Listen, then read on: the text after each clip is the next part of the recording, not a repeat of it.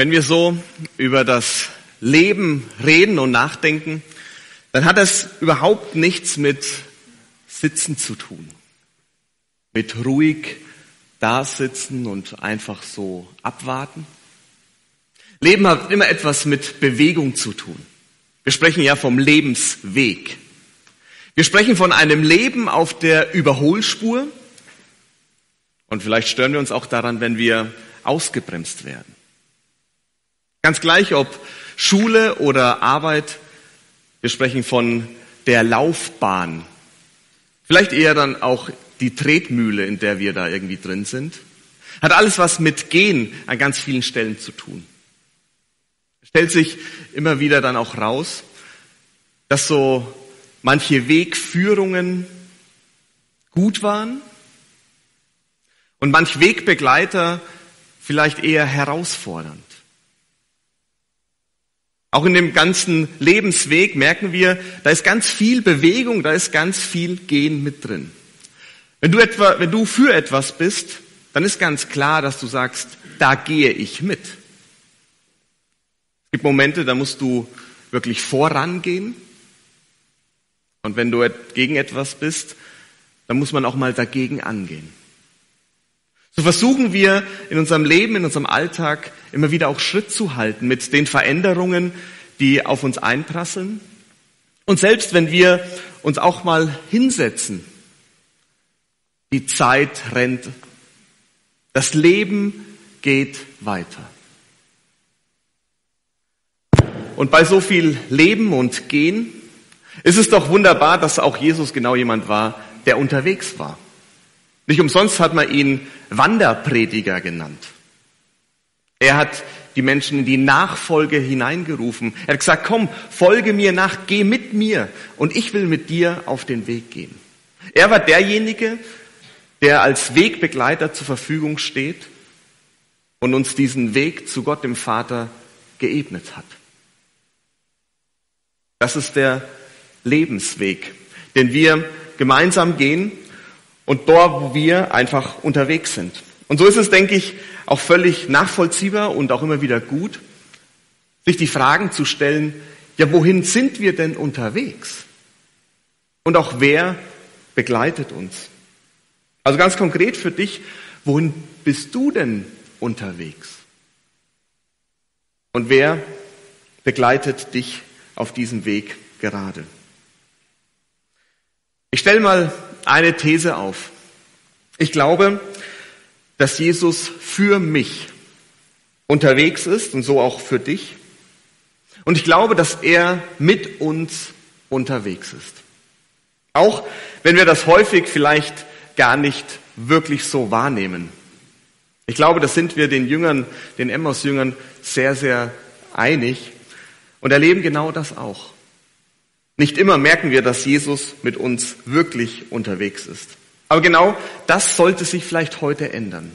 Vielleicht auch nur einen kleinen Bruchteil, dass wir merken und wahrnehmen, dieser Jesus, der geht mit mir. Im Leben und im Alltag wird es uns aber nie gelingen, alles aufzunehmen. Alles, was wir sehen, alles, was wir riechen, alles, was wir hören, All das, und dann kommt noch dazu, was unser Körper uns sagt, unsere Gefühle, unser Bauch und auch unser Kopf. Es wäre eine totale Reizüberflutung, wenn wir das nicht filtern würden. Das heißt, wir müssen an der Stelle irgendetwas weglassen. Die Frage ist halt nur, warum lassen wir an mancher Stelle einfach Jesus aus unserem Leben heraus und nehmen viele andere Dinge wahr? Jesus ist derjenige, den wir am wenigsten in unserem Lebensweg ausblenden sollten.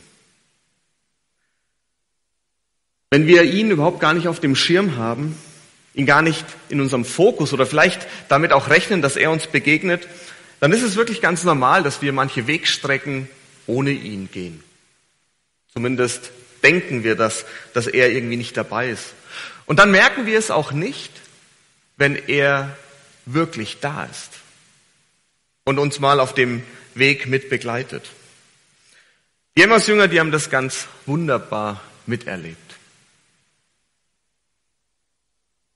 In der neueren Teil der Bibel, in der Geschichte von Lukas, der alles über Jesus aufgeschrieben hat, lesen wir genau das im Vers 16. Aber es war, als ob ihnen jemand die Augen zuhielt und sie erkannten ihn nicht. Sie waren blind. Blind für denjenigen, der mit ihnen gelaufen ist.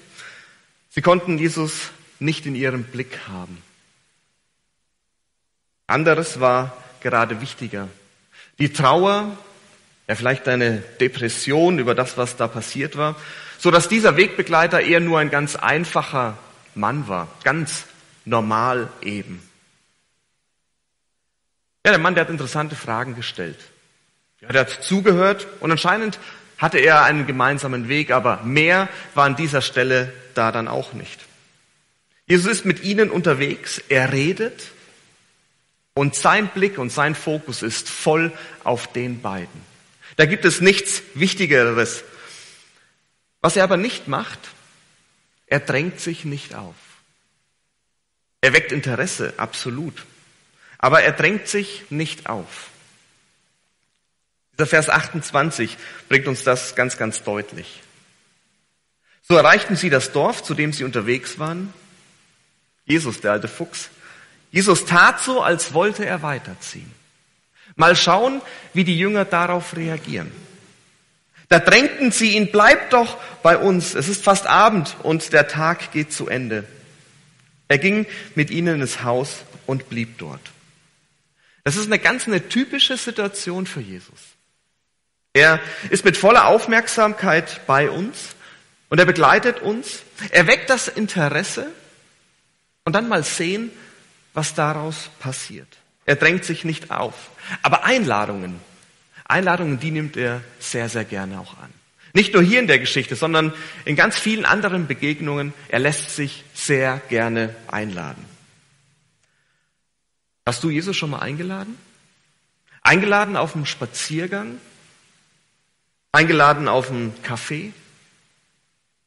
Eingeladen mal zum persönlichen Gespräch? Natürlich ist er dann nicht real da, aber dein Blick und dein Fokus ist voll auf ihn gerichtet wenn du die Zeit mit ihm nimmst, wenn du einen Weg gemeinsam mit ihm gehst. Es macht dir bewusst, dass jetzt eine Zeit ist, wo Jesus ganz nah bei dir ist. Und dann ist alles andere in dem Moment unwichtiger. Und es gibt noch eine zweite Art und Weise, ein ganz ein anderes Extrem, wie Jesus uns eben auch begegnet. Wir hüpfen in den Bericht von Johannes, der hat auch einiges mit aufgeschrieben in Johannes Kapitel 20 ab Vers 19. Als Hintergrundinformation, die Kreuzigung war geschehen, die Auferstandung, Auferstehung war geschehen und jetzt sitzen die Jünger verängstigt zusammen. Es war Abend geworden an diesem ersten Wochentag nach dem Sabbat. Die Jünger waren beieinander und hatten die Tür fest verschlossen, denn sie hatten Angst vor den jüdischen Behörden. Da kam Jesus, trat in ihre Mitte und sagte, Friede sei mit euch. Und wenig später eine ganz ähnliche Erzählung, Vers 26. Acht Tage später waren die Jünger wieder beieinander. Diesmal war Thomas bei ihnen. Wieder waren die Türen fest verschlossen. Warum auch immer. Da kam Jesus, trat in ihre Mitte und sagte, Friede sei mit euch. Plötzlich und unerwartet ist Jesus da. Und für alle ist sofort klar, das ist nicht irgendein Mann, das ist Jesus Christus. Das ist unser Retter. Auf den haben wir unsere Hoffnung gesetzt. Er tritt in die Mitte und er bringt den Frieden mit. Eine verschlossene Tür, vielleicht auch eine verschlossene Herzenstür, die hält ihn hier nicht auf. Und klar ist, hier kommt der Sohn Gottes. In einen Raum oder in ein Leben. Und in dieser Spanne von unbekannter Wegbegleiter bis hin zu hier bin ich, der Sohn Gottes, in dieser Spanne begegnet uns Jesus und er ist mit und für dich unterwegs. Genau da macht er die Meter für dich. Vielleicht hast du ja schon beide Erfahrungen gemacht. einen Wegbegleiter, wo sich später erst festgestellt hat und herausgestellt hat, ich glaube, das war Jesus. Der hatte seine Finger da mit im Spiel. Oder eine andere Begegnung, wo dir auf den Schlag bewusst wurde, jetzt ist Jesus wirklich da. Jetzt steht er oder sitzt er neben mir und du erkennst ihn sofort. Aus diesen Begegnungen können wir drei Sachen wirklich auch lernen für uns. Der Schwerpunkt liegt auf dem allerersten heute. Das erste ist Umkehr, Korrektur und Lebensveränderung. Die beiden Jünger, die nach Emmaus unterwegs waren, sie liefen weg von Jerusalem. Weg von dem, was da passiert ist. Sie liefen weg vom Haus Gottes, vom Tempel. Sie liefen weg von der Gemeinschaft, in der sie vorher die ganze Zeit waren. Sie liefen weg von dem, was sie gerade erlebt haben. Also ihrer eigenen Geschichte. Und vielleicht war da auch noch so viel mehr, was sie wirklich hinter sich lassen wollten. Ich glaube, es war auch eine ganz eine große Enttäuschung bei ihnen. Und genau deshalb wollten sie einfach weggehen. Lukas hat das so deutlich gemacht in dem Vers 21, in diesem Gespräch, was sie hatten. Wir hatten doch gehofft, dass er, also Jesus, der erwartete Retter Israels ist. Welche Hoffnungen hast du auf diesen Jesus gesetzt? Oder welche Erwartungen hast du von Gott? Und was passiert, wenn diese nicht erfüllt werden? Gehst du dann auch erstmal weg? Lässt du das auch erstmal zurück? Das Gefühl, aufs falsche Pferd gesetzt zu haben, ich glaube, das schwingt hier absolut mit. Und jetzt, natürlich, jetzt muss das Leben weitergehen. Wie auch immer, aber ich denke, sie bekommen es hin. Sie gehen, sie gehen weg. Sie schlagen einen ganz einen anderen Weg ein. Und Jesus? Jesus geht mit. Für Jesus ist selbstverständlich, dass er diesen Weg auch mitgeht. Jesus hört sich das alles an. Manches Gejammer, manche ernsthaften Fragen, manches auch, was sie nicht sagen können und eher mit Schweigen zum Ausdruck bringen. Er begleitet sie, er ist für sie unterwegs. Jesus lässt sie und dich nicht einfach so gehen. Dein Weg ist auch sein Weg, er geht mit dir. Und dann gibt es diesen einen Moment, wo sie da sitzen, durch was auch immer wird ihnen klar, das war Jesus. Dieser eine ganz besondere Moment, wo sie aufspringen und dann schnell wieder umkehren. Sie laufen zurück nach Jerusalem. Sie laufen zurück Richtung Gottes Haus. Sie laufen wieder zurück in die Gemeinschaft mit den anderen. Und sie kehren auch wieder um und verändern ihr Leben zu Jesus Christus hin. In dieser Geschichte passiert das innerhalb von ganz, ganz wenigen Stunden. Ich glaube, an vielen Stellen ist es ein langer, langer Weg. Und auch den geht Jesus mit. Der volle Fokus liegt auf dir. Er hört dir zu, er begleitet dich und er redet auch mit dir. Ich glaube, dass dieser Weg vielleicht eher ein ganz ein langer, langer Bogen ist. Mit kleinen Veränderungen, mit kleinen Korrekturen. Nicht immer ist es eine 180-Grad-Wende wieder hin zu ihm. Auffällig ist, dass Jesus ihnen ganz viel von der Bibel erzählt. Er erklärt es ihnen. Er erzählt ihnen die große Geschichte, die Gott mit den Menschen vorhat. Die große Geschichte, die Gott mit dir vorhat. Er fängt bei diesen Geschichtsbüchern an. Er geht weiter über die Propheten, über die Psalme, all das, was sie eben damals auszugsweise dann auch hatten. Die hatten damals nicht jeder eine eigene, vollständige Bibel. Das ist ein absolutes Privileg, was wir haben. In ganz unterschiedlicher Form und Farbe, analog oder digital. Es ist nicht selbstverständlich. Und doch steht da so viel drin. Und ich möchte dich an der Stelle ermutigen.